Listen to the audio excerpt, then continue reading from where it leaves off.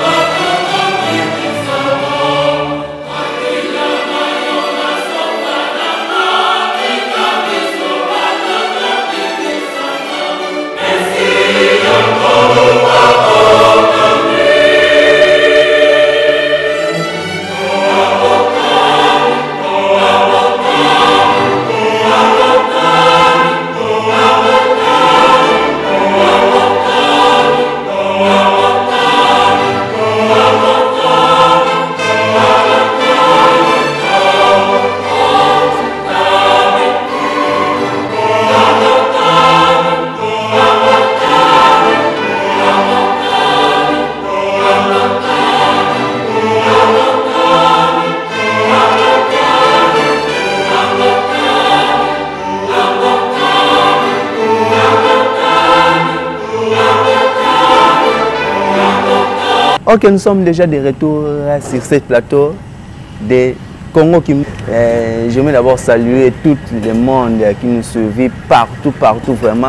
En Hollande, je vois Maman euh, Marguerite, Maman Marguerite. Euh, je vous salue, euh, je vous aime vraiment trop, maman Marguerite. Et je vois là papa Alucci, papa Aluchi depuis Hollande. je le salue. Et je vois aussi Alberto Makosa. Alberto Makosa, c'est mon ami. quoi. Je salue aussi depuis Paris. Eh, mon vieux, Demser Ndele. En tout cas, ba gros bisous na yo yango wana il s'appelle papa kamoso papa kamoso il est vraiment là pour nous pour nous parler pour nous eh, édifier vraiment les, des, des choses cachées eh, oyo biso toyebi te donc tokoyeba yango vraiment awa akopesela biso yango vraiment papa kamoso tozali vraiment na yo awa ayeli biso sujet moko kitoko sujet wana bengelanga bengelanga vraiment Mwana, ndeko, papa azala wana tolanda eh, emission oyo le savoir ensemble elongo na bino toyeba nini oyo bakopesela biso lelo oyo toza nango lelo comme sujet papa ye nango nayebi te ye mo moto akopresente yango to ngai kua moyini wana ngai vraimen alingaka kotanga ekombo mingi te nalingaka mpenza te parce que eza kopesa motu makasi mais mpo na kokitisa ye vraimen na nko nyonso tu donc moyini kaka donc napesa ye vraimen eh, kombo te bonjour papa kamoso bonjour papa jansi makesa ah papa kamoso mikolo ebele mikolo ebele oye kotambola mm. mm. en tout cas bandeko ya congo kimbangu bazolanda yo partout na mokili mobimba bazolanda yo opesa bango bambote mpe eh, présentation na yo oui mokili mobimba topesi bino mbote nazali kimbanguiste Nazali papa diacre église kimbangiste ya Ngaba. Je crois oyo bato bakoki koyeba yango wana. Ah, papa Kamoso, oui. Eh, lelo obombeli biso nini? Lelo vraiment. C'est vrai. Zambala na ya yambo. Eh? Oui, mbala nga yambo po bomona nga na émission oyo. Lelo tobombeli bino les stratégies de l'ennemi de l'homme.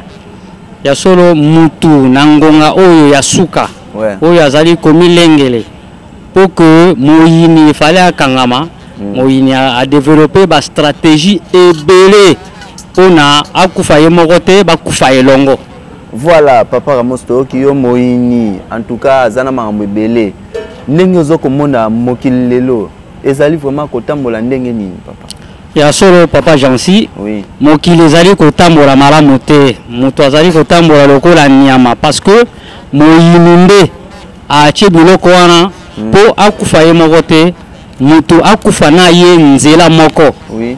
mpo biteni nyonso ya mokili soki otali okomona kaka ke mokili eza kotambola malamu te, donc moto azotambwisama malamu te, donc moto azotambwisama malamu te donc yo moko ozolanda biso mituna mi yo moko estce ozotambwisaka malamu estce ozalaka vraiment mopanzi wana to mopanzi wana te epapaka moso tokoleka na mituna ya mibale olobi bastratégie ya moyini bon bastratégie yango ya moyini ezali ndenge nini mpe e, ekwelaka vraiment na bato lolenge nini merci papa jansi nakoloba nano ebandeli ya makambo yango soki ebandi ndenge nini soki otangi na apocalypse 12 9 okomona ke bitumba ezalaki likolo moyini lokola alingaki concurrence ye na tata nzambe bitumba esalemaki ye na ange michel babwakaki ye na mokili kolere na ye lokola akitaki na mokili likolo ereconnaitre a ah, malheur na mokili na mabele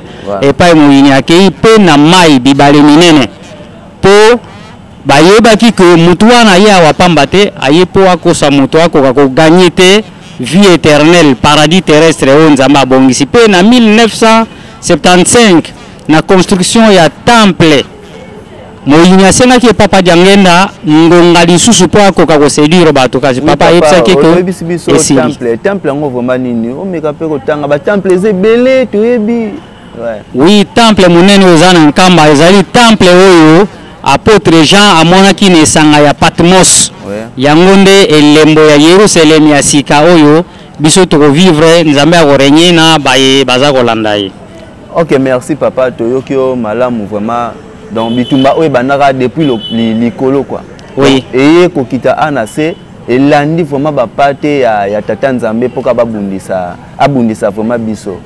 mais ngai vraiment akolonga te donc ngai vraiment donc ndeko wana akolongaka te vraiment bon eh, papa okoki kopesa biso ba axe ndenge na koatrapaka vraiment bato bisika oye alona ya mabe na ye wana ya solo toza na ba axe oyo ye azali koopere biso tobengi yango axe d'opération ya moyini na bapoint nyonso ya vie ya bato tokei kotanga bapo yango ndakisa na culture oui. soki okoti na culture otali na musique voilà. okomona ke moyini aza kotravaille makasi nzembo moko te soki eza na kofinga na kati te album wana etambola donc album mpo etambola mm. il faut kofinga ezala il faut bato baza kobina babina balati malamu te voilà. nde nzembo wana ekoki kotambola tala ata badekale bajeune bazali kobeta voilà oyo toyokaka na bajeune avandi na ye kaka boye inspiration nayebi te so bainspiration wana ezala ya nani oui inspiration ezalaka mibale bubumba moko abandi akoteli yango mpe na studio inspiration satanique ezali voilà inspiration mpe ya nzambe ezali lokola banzembo na biso epai ekowutaka eza bainspiration ya tata nzambe oyo ya bango eza satanique voilà. mpo soki olandi ezala na bacri oyo bango bakobetaka moto abeti cri cimetière ya kitambo eyamba eske eyambaka bato ya bomoi eyambaka bawei alors sikoyo biso mpe tondimi yango biso tozo bino omona chrétien mondimi ye wana mpe azokata makina wana oui donc ye nde alingi biso tobika te mm. papa soki okei lisusu okomona eloko oyo nzambe aboyi lokola homosexualité voilà. 1 corinthiens 6 kobanda 9 ti na 10 voilà. nzambe aboyi yango me bato bamipesi mingi na kati na homosexualité soki totali mingi bamindele nde bayeli yango bayeli biso yango papa ekoti ekoti ti na kati ya baconstitution ya bamboka ebele hmm. ekoti na constitution mais sikoyo conséquence sikoyo ekozala lokola eyebani ke famille ezali papa mama na bana voilà. mais sikoyo epai na bango nayebi te lokola bazozwa baenfant adoptif ekozala papa papa mama mama na bana alors ezali mwa mpasi na likambo wana parce que soki odetourne likambo ya tata nzambe baconséquence eza kaka voilà. batatouage lisusu papa likambo wana nzambe aboyi likambo na tatouage na levitique 19 28 oui. mais jeune akanisi mpo azala kitoko il faut amisala badessin na nzoto na ye mm. donc ezali parmi bastratégie ya moyini ya kozwa kolata bajeune balingi babafes baza kobenga babodi donk motu eteni na ye ya nzoto ifo elakisama po amona ke alati bien body vraiment ekanga nzoto oui moto aza monene elamba alati ya bebe hmm. mokolo alati elamba ya bebe eza malamu te eh, eza malamu te stratégie ya moyini voilà okomona confusion soki moto aza koya moyen o distingue jeune fille na jeune garçon eza te oh. jeune fille oui akati suki lokola mobali alati triko lokola mobali donc ndenge etamboli na koyeba te ndeti batantine moko papa tomonaka na aveni omona tantine moko mobali me babenge tantine nayebi te soki tantine ya ndeni mais oui eza mobali azotambola lolenge ya mwasi confusion biloko ya matoi alati makambo nyonso oyeba te eza mobali wana mpe kaka bastratégie kaka moyini stratégie ya moyini kaka mpo ya kokosa biso mpo nzambe asali mobali azala mobali mwasi azala mwasi Yaka lisusu kozwa toujours na culture mpo lolenge ya vie ya bato mm. lutte contre la vieillesse yes. papa voilà. mama alingi te bayeba ye mama donc mwasi alingi kokola te mm. tikali kaka jeune fille ya 15 ans bebe kaka tata alingi kokola te alingi azalaka jeune garçon suki pembe bato bayini yango makasi papa kopakola ba couleur nyonso wana mpo ya koseragenir kaka mm. bongo bamama balingi bameshe awa meshe elongwa na motu te nyonso wana mpo ya kobomba suki ya pembe mpo na nini kotikala kaka jeune donc moto alingi konuna te mondimi bapekisi yo kotia verni te kotia meshe te mais ozotia kaka yango donc moyini wana satana eh, papa natangi nkombo na ye yo nde otangi nga nalinga nkombo wana kotanga yango moyini wana azofula yo kaka mopepe azofula yo sala yango sala yango me yebaki oza mondimi il faut otika babiloko wana eh, alors lokola ezali makambo oyo ya ye mm. ya kozwa lisusu na lolenge ya kovivre ya bato bakulu na oyo papa bakulu na eza toujours ba stratégie na ye moto azali mawa ya moto te donc moto azovivre kwa nyama Akotia moninga mbeli ya kobanga te. Akoboma akobanga te. Donc lokola oza wana moto akokata okingo aza na souci na yo kutu te. Voilà. Donc eza lokola azoboma nyama. Donc nyonso eza kaka ba stratégie na ye. Soki oye kozwa na politique oyo towuti koloba culture tokei na deuxième point politique axe ya mibale. Ouais. Papa politicien asalaka te oyo alobaka mpe alobaka te oyo asalaka. Oyo asalaka. donc nyonso wana eza kaka ba stratégie ya moyini ko flatter biso oui oyo ye aza nango ye aza na posa ya mandat soki basi bapesi mandat esili voilà ye akomi kosala oyo ye alingi mais oyo alakaki bino etali ye te donc eza na kati ya ba stratégie donc oyo azosala ewuti epai na ye te azali telecommande teleguide Donc ba mboka ebele ya mokili ezali telegouverne.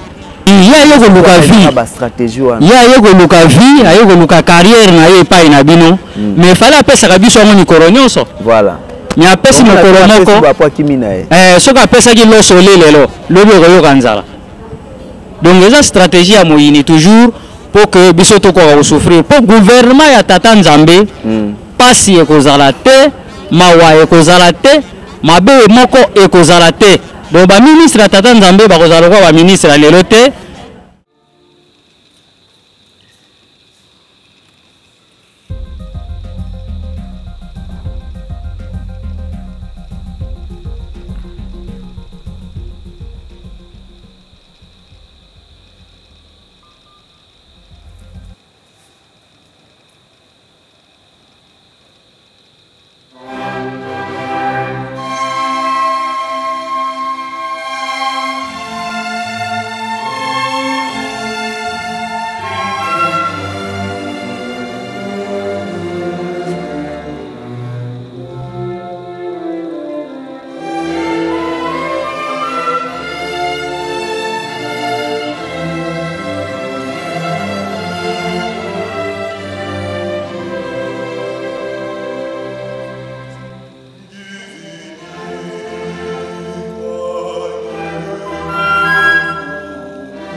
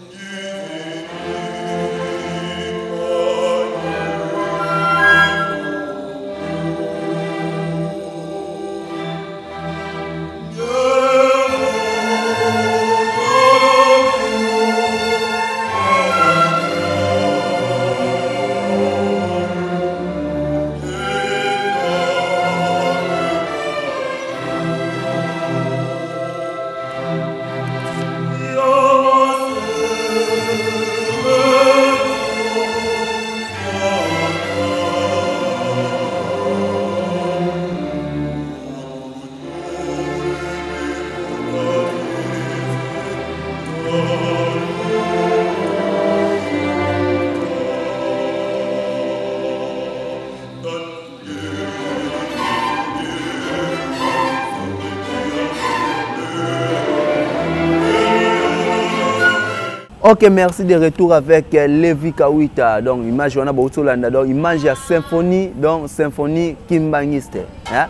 Orchestre wana donc orchestre moi makasi donc ezo frapper mikolo donc so oza na manifestation na yo oza na besoin na bango ocontacte ka banimero wana donc okomona bango bakoyela wana bakojouer instrument kitoko avec le maestro donc Euh, je salue à passant.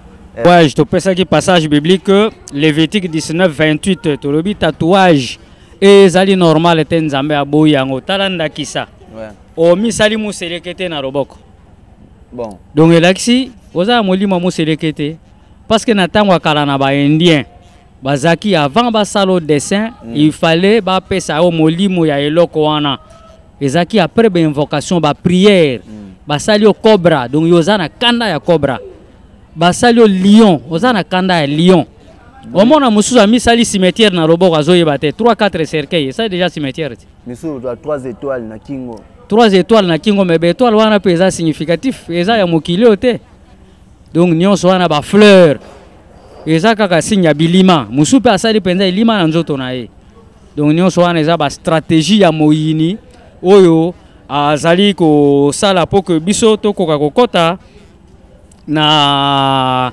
gouvernement ya tata nzambe te na règne millénaire mm. alors na baétude mpe lokola soki otali mingi ya baétudiant bakɔta na baloge moto alingi soki asilisi classe mbala moko azwi mosala asilisi classe mbala donc facilité yango moyini amoni na kati ya facilité wana il faut azwa mayele na biso osilisi ya compliqué neti boye biso misala eza su te alors bacondition yo olingi osala e eh, sinye ngai awa yo osigne ye lelo nakokɔta mosala na bajipe na bandako na makambo nyonso okobota te okobota te hmm. makambo ebele ekoya mpasi na famille bato babandi kokufa donc eh, stratégie ya moyini yebake moto abomi akoki kokende likolo te ah oui eh, sika wana na institut moko boye papa kaka na makambo ya betide institut wana bana batangaka na bango batangaka batangaka mwana aza mayele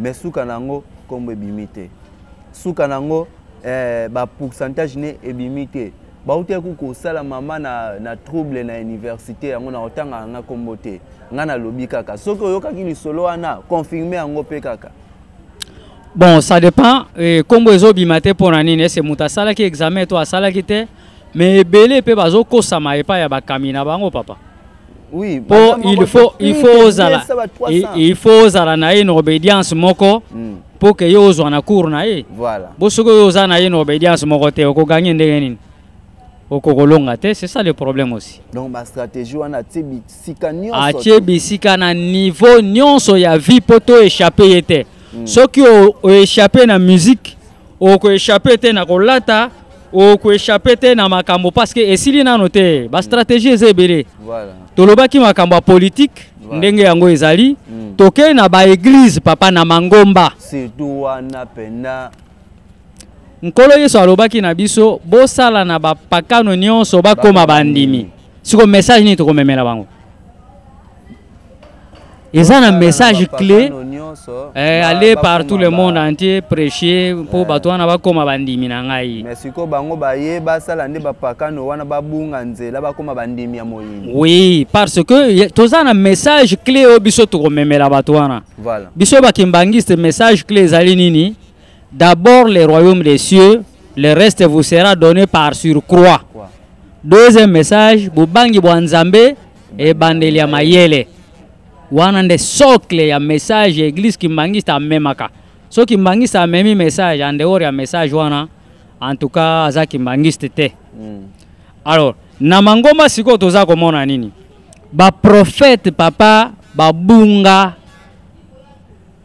parce que ba mandona pardon ba bunga heure moko na Kinshasa ezalaki komona moto asali tableau mm. a dessiner loboko ya motu atie lisu heure okoya motu wana akoyeba biso avenir na yo akoyeba biso makambo oza nango na nzoto bato wana nyonso bafungola baeglize donc soki okoti kuna babandi koyeba biso makambo wana komona baconsultation prophétique donc eh, ezali moyini wana a se déguiser en ange de lumière okotanga yango na, na 2 corinthiens 11 14 mm.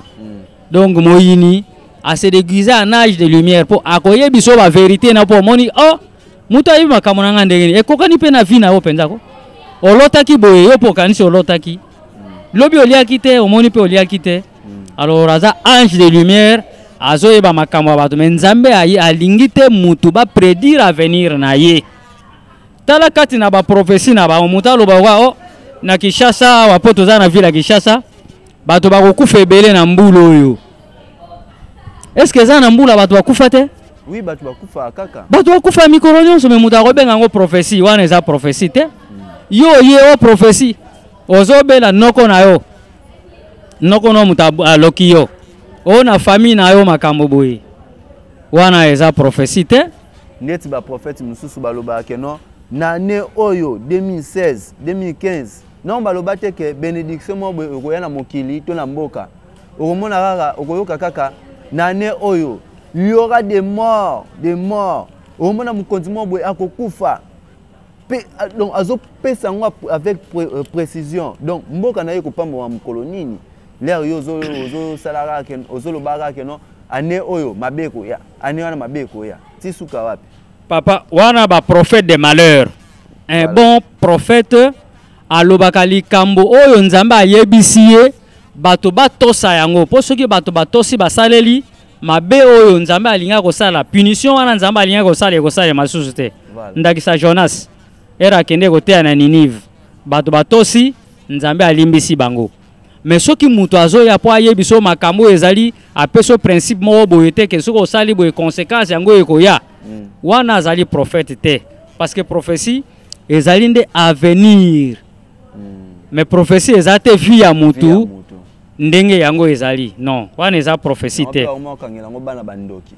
wana tokolobela mpe yango parce que eza toujours na kati ya mangomba mpo tozo parler na eglise na kati ya eglise congolais papa alingi miracle trop hmm. miracle wana ebele na miracle ezowuta epai na moyini soki totali yango na de thessalonicien 2 9 voilà bakoyeba biso ba miracle wana ya lokuta ebele hein? mm.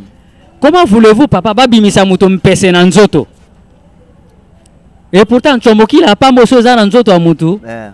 moto akoki kosuporte te akolala pongi te eh? voilà. bongo mpese monene na kati ya nzoto ya moto misusu bakosalisa miseleke te moseleke te mbembe ngongo yango awapi akosalisa miseleke te papa mbembe babimisi bafinio na nzoto babimisi yo mbembe omoni tobenga yango eza ba show ba démonstration ezali eh, ba spectacle ba spectacle voilà donc na mangomba spectacle ekoti obambi mutu mouchoir akwei obambi mutu veste akwei donc eh, baki osala kati kuna na amérique oui donc bango bazali baza voue na ba spectacle donc eh, ezali ba stratégie ya moyini mangomba ebele ezali baoyo baza olie bateya bampate ya tata nzambe babongwana hmm. bango bazobenga bango epai na bango mpo congolais papa alingi mingi kaka bilembo bamiracle mpo ke ye akoka kondima ke nzambe azali awa okomona stratégie mosusu eza na mangomba oyo eh, moyini azokoagir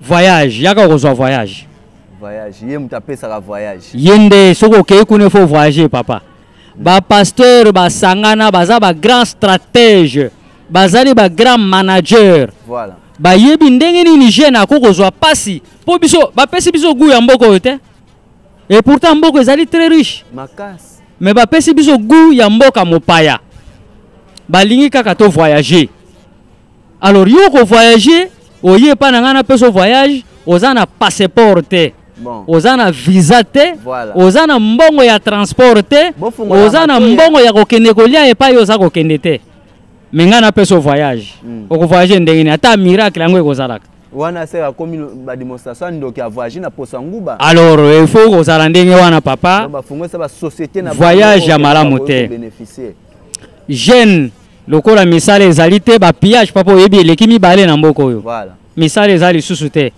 mais okoyoka yaka okozwa mosala epai okende kosigne bapacte yango wana mpo pasteur moko asali eh, eh, eh, acree baemploi na mboka azali te sikoyo mosala bakopesa biso ekowuta wapi ah, limete oyo mpo toza na kinshasa ezalaki quartier industriel kuna résidentiel kote oyo mais quartier industriel lelo ekoma résidentiel bato batonga bandako parce que bacompagnie eza te sikoyo okokende kosala wapi donc mosala okosala kaka na bastratégie na bango oyo moyini aza kopesa bango mpo tokende epai na bango tokosama mais papa place wana mpe ondire oza contre bango mpo misala mosusu eutaka epai nzambe oui. bon, ndenge nini ya bango ozalaka kaka ya satana nzela eza mibale papa oui.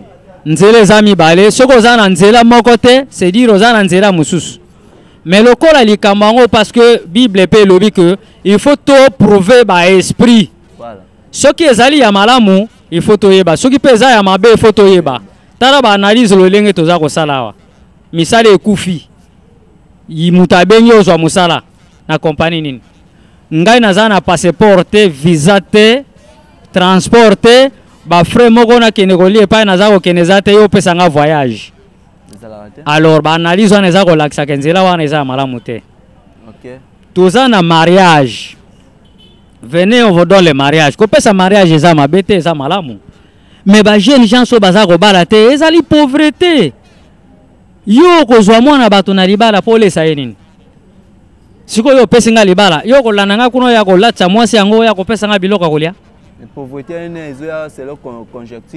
mais parce que misala eza te papa bapiage mibale nayebisi yo wana mboka toza par terre c'est pourquoi mabala eza te bajeune garçon baza kosazarde mpo ya kobala te non papa soki omoni eloko moko donc ndenge tosubi yo makambo oyo lelo oyo mwa misala eza te bani me bango moko bakonzi wana baza na bambongo seke bango mpe baza na misala wana ya bastratégie ya moyini me misala ezali te motu wana monguna wana mm. ndenge babundaki ba bitumba ye akiti awa ye apreparaki biloko wana abomi misala wana akoti na mitema bakonzi mpo ye akokɔtaka na mitema bato akoti na mitema tala ndenge akɔtaki na motema ya anania anania ya safira oyebi lisolo yango akoti na motema na ye olie aloba verite ya akosi donc ndenge moko moto wana ayebaki maye mazali koya mpo ke abongisa abalise terrain lelo bato bakwea na monyama na ye mpo quelque part na bible ye alobi akotya bato na prison alors prison yango ye akotya biso prison nde yango wana aboma nanu mm. makambo malamu ekoki kopesa biso kimia mpo biso tobanda kofukamela ye mpo tokɔta na makambo na ye mpo ebele lelo papa bazali kopreche richesse meyeba ke moyini ere yesu alongwe na beko na ye ya 40 jours moyini amemaki ye na ngomba alobi bomengo nyonso ya seyo eza ya nani ya ngai fukama mpo napesa yo yango yesu aboyaki ya Eh, yesu aboyaki ngai mpe oboya yango yo mpe boya vraimen soki bayebisi yo fukama sala eloko oyo mpo ete okweisama boya yango me biso tokomi kolinga donc tokomi kowela bozwi na moyini voilà. donc eh, na mariage tolobi bongo bajeune baza kosazarde te parce que misala eza te mbongo eza na bato te voilà. bakobenga yo lisu na mangomba yaka ozwa bana papa ba jeune fille oyo mpo babatela baklasse na bango basala baavortement bamosusu tolobi bango nyonso te ndambo sikoyo ere azwi libala malamu akomoluka mwana ere akoyoka lingomba ndenge wana ake kotonda kuna parce que il faut azwa mwana mwana wana akovanda place ata ko miracle ya sara ezali matrice eza kozika mwana ovanda place nini akovanda te wana Alors, seke ya soki kovanda mpe na- likambo yango ekozala lokola baza bamandona Mm. bakopesa yo kisimbi Bakopesa kisimbi na ndenge ya kindoki mwana wana nde akoya kolia yo mpo okozala su na mbongo te kobela ntongo pokwa la plupart bana yango mpe bateti papa Bango mpe batetu bazo reunir awa me na Port bango nde Harcourt. bamemi kikuluna na mboka oyo towuti kolobela yango makambo ya kikuluna wana deja badivorce mwasi oyo aza mwasi na yo te mobali oyo aza mobali na yo te makambo wana ezowuta na kati ya baeglize tata na mama bakabwani oyo ake kobala mwasi ya, ya vi na ye oyo ake kobala mobali ya vi na ye bongo bano babotaki sor na bango bakomi ba enfant de la rue bafazer ozomona ebele ebele oyo moto akotangisa bango azali te mm. moto akosupporte bango azali te ewuti na mangomba na partir ya divorce ya tata na mama voilà. donc eza toujours bastratégie ya moyini bongo papa eloko mosusu mm. baprédication oyo ezobangisa bato oyo oyebi e, baye bakufi na moi ya lelo baleki biso na nini mm. donc c'est-à-dire bato bakufi baleki biso te mpo biso toza na bomoi estce moto akufaka na volonté na ye te na volonté ya nzambe na volonté ya nzambe soki camion esali accident ndambo ekufi ndambo ebiki banani baza na mal chance moto moko te papa mpo oyo abiki hmm. volonté ya nzambe oyo ape akufi volonté ya nzambe donc wana eza mateya ya koteya bato te alors nyonso wana eza toujours na bastratégie ya moyini mpo biso tokoka kolanda moyini toyina tata nzambe mangomba tokimaka baniao oyo oh, niao azali satana kokima bampese donc voilà. ezali bizaleli moko ya malamu te niao aza ekelamu lokola yo na ngai mpese bampuku ebo eh, bampuku baliaka bato mpuku papa yo soki osukoli maboko malamu te mpuku alandi solo wana akododa yo te akolia yo na misapi yo kasi mpuku ayekoli yo misapi ndoki eloko te puku aliaka deja misuni alors yo osukolaki maboko te puku akoya kolia yo na misapi c'est ça okay. alors soki tokomi na vie courante papa vie oyo ya biso toza kovivre oyo makambo mpe eza ebele ebele makasi mundele amemeli biso telefone wi me na kati ya telefone makambo ebele eh? liboso ezalaki filme non admis eza ya bamikolo me lelo eza na kati ya batelefone bana baza kotambola nango baza kobeba ifo baexperimente mpe makambo baza komona kuna papa bamessage ya mabe bareseau ba, ba, ba sociaux toza kolanda oyo mm. ezali toujours malamu te mpo na bajeune alors nyonso wana toujours stratégie ya moyini mpo tokweisama tokomi na baargo eh, baterme moko bajeune basalaka mpo babomba mpenza eloko yango bafulue essence ya eloko baza kolobela mpo baboti bayeba te papa lokola kote ya masanga makasi oyo ya bakoco bangbalo bazododo balimbero yoso balobi ah omei oh, limbero donc soki obendi mwa limbero pere akoyeba te mpo moyen baconseille eza te aboyi pere atombokela ye nde azwi mwa terme ya mabe badiamba oyoka nzwama malafu ma papier hmm. oyoka odi tumba mbeka papier oh. pere azokamwa me mbeka papier ndenge nini me nzoka tolungwa na abraham ndenge atumbaka hmm, mbeka mpo na nzambe eh, mbeka ya papier sikoyo donc eh, diamba mpo baboti bakoka koyeba te oplie donc nyonso wana eza bastratégie ya moyini mpo que makambo ya mabe toujours ezali kobombama moyibi bokobenga yango pillage hmm.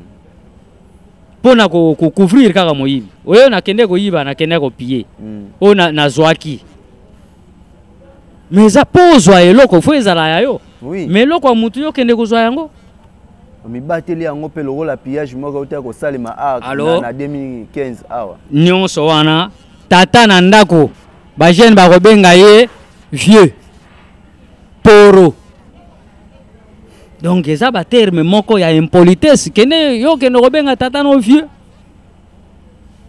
donc eh, nyonso wana ezali kaka moyini nde aza komemela biso mpo ke biso tokoka eh, kolonga te mpo soki orate na eloko moko na eloko mosusu wana oke kokweya mais fo ozala makasi mpenza makasi c'est pourquoi euh, bastratégie oyo bato mosusu bakoki kotuna mpo na nini toyekola bastratégie ya moyini ezali mpo toyeba yango mpo tocontourne yango ndenge moko na bamilitaire baza na front il faut bayekola stratégie nini bakoki kolonga moyini oyo aza liboso na bango soki bayebi bayebi mpe force ya moyini wana bakolonga ye bien mais soki bayebi force ya moyini te mm. bayebi mpe makambo nini ye azosalela te en tout cas bakoki ko, kolonga moyini wana te sino te moyini soki aza prêt mpo lokola tata oyo ye aza kaka kotalela biso lokola aza molimo mpo tata nzambe alongola ye pouvoir oyo abengela ye likolo te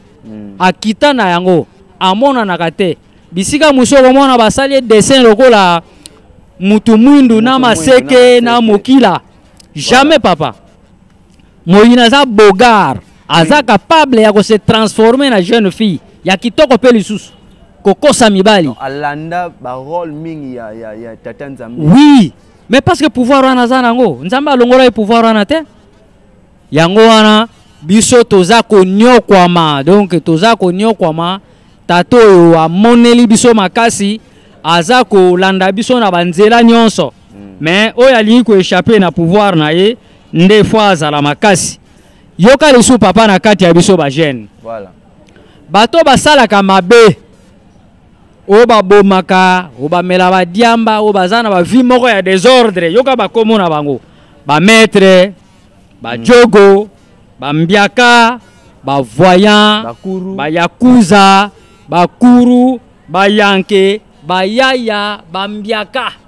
mm.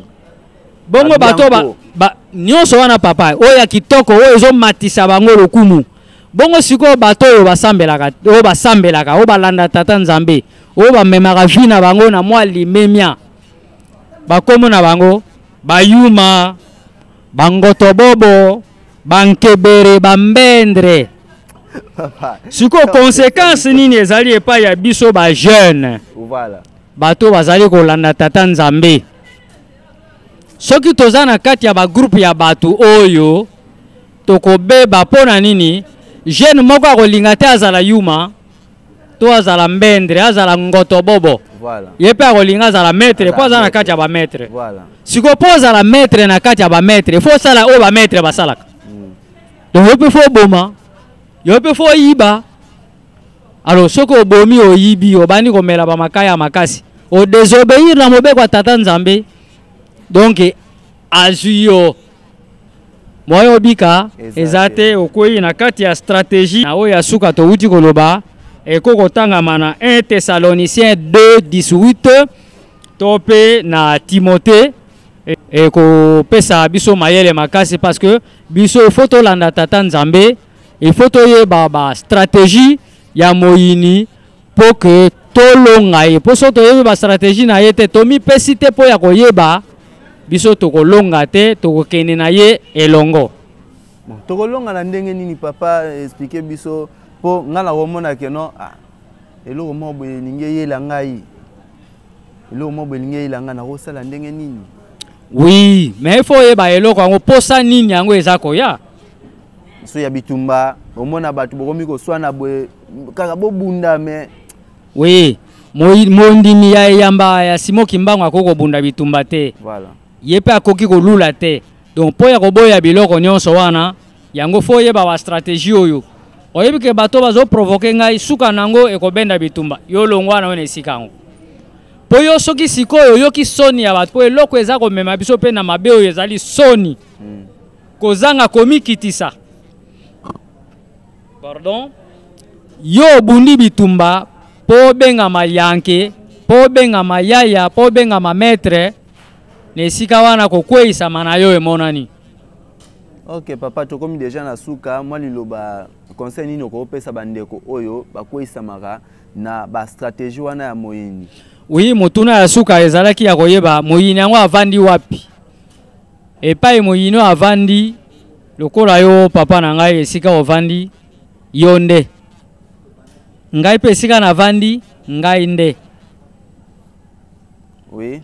mpo mutu na mutu voisin na ye direct ye nde moyini oyo ofira na ndenge ke soki amemi ye na makambo ya malamu azali nzambe epai ya, mo, ya mo, moninga na ye oyo baza pene na ye soki amemi ye na nzela ya mabe ye nde moyini yango donc mutu oyo alingi biso tobika te ye wana ok merci bandeko balandi tokomi na suka ya emission na biso eh, papa ozwa ok tokomi na suka ya emission na biso le savoir le savoir eza wana mpo na bino donc oyo toyebi te tokobenga bankumu oyo bayebi makambo wana mingi bayela biso bapesa na biso mpamba te komona mokili ebebi mingi me kasi yo mwana papa simo kimbangu yo mwana tata nzambe zala mayele zala na esika oyo batikelaki yo soki omoni mwa likambo yango eye ata na mpasi ata na esengo